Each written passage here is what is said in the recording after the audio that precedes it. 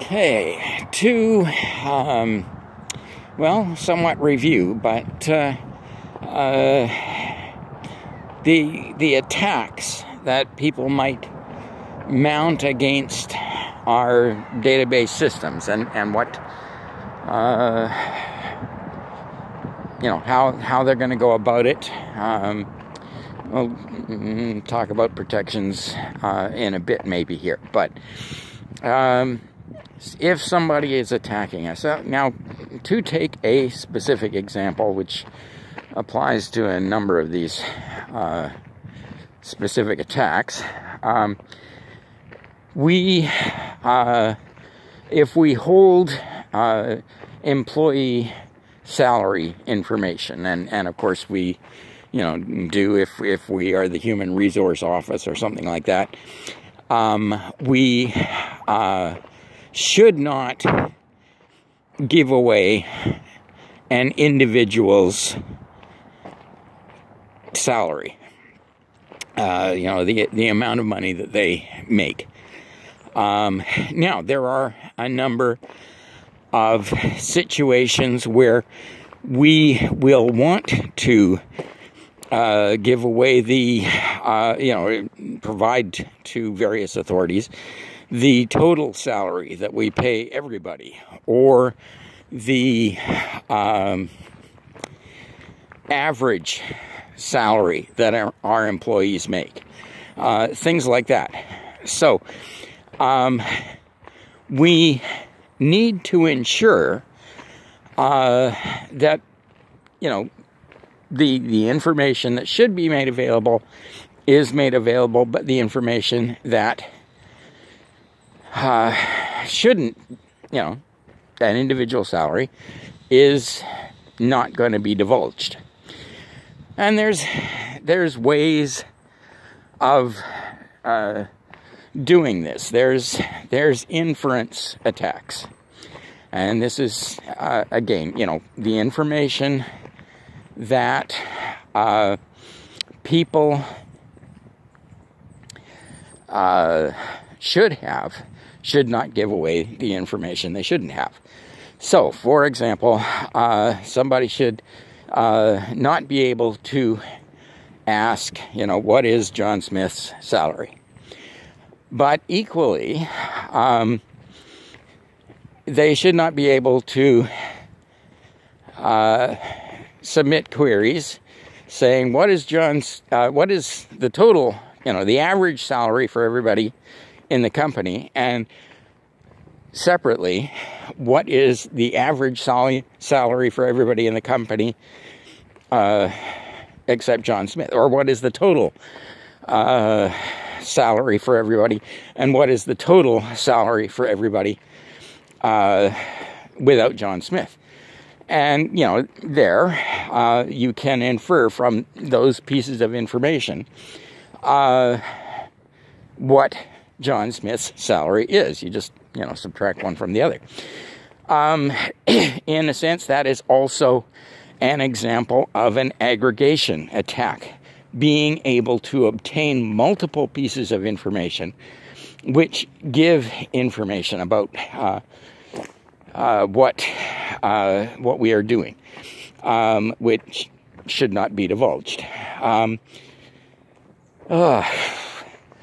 lots of other examples of of aggregation. Um, I remember, uh, well, drug uh, uh, drug companies um, when uh, the uh, you get your pharmacy billing or, or something like that from medical insurance, um, and uh, if it's going to a public office, it'll have a code for the uh, the drug rather than saying what the actual drug is.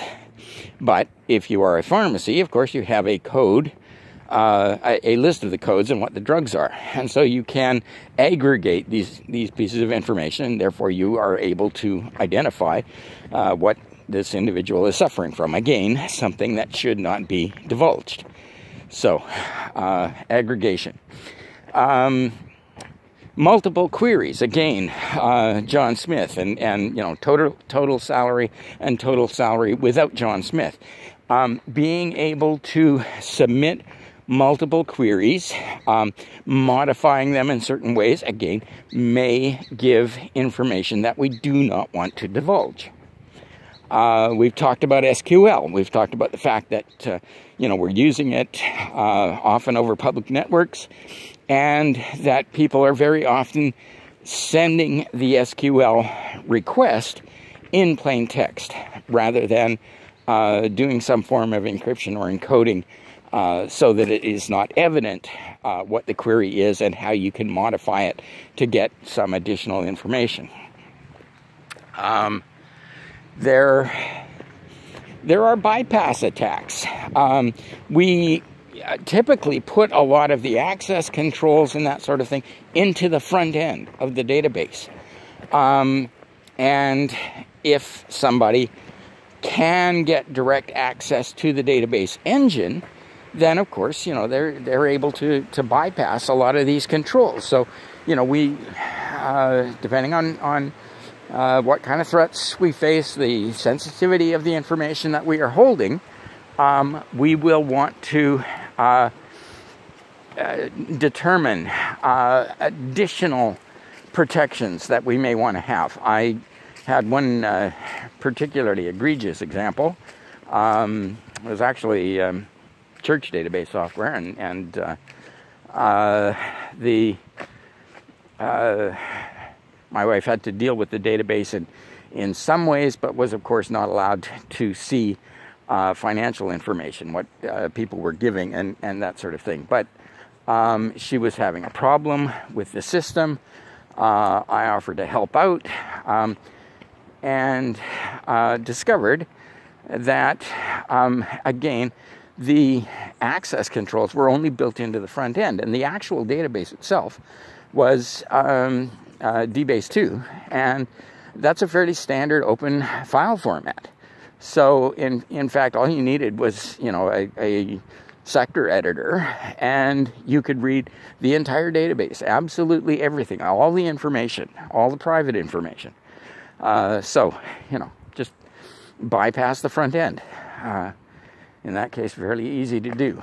Um, uh, we talked about uh, SQL and the um, uh, the fact that we use a lot for uh, web transactions. Um, the web interfaces overall um, are problematic in that um, uh, the web itself, HTML, and, and the functions of the World Wide Web are not particularly suitable for um, secure transactions, identified transactions. They are, in fact, all individual uh, submissions of requests. And so, um, if we are doing something over the web, we have to uh, prepare additional uh, security for our web application programming. And, and we'll uh, talk about that uh, a little bit later on here.